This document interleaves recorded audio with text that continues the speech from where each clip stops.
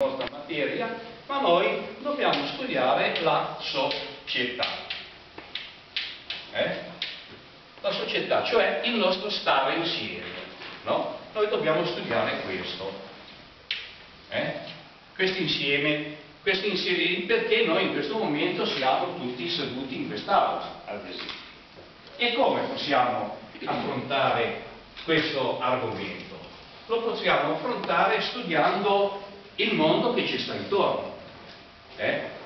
andando a cercare degli esempi, degli esempi sui quali noi rapportarci, esempi che in termini, in termini di questa materia che stiamo affrontando si chiamano modelli di sviluppo.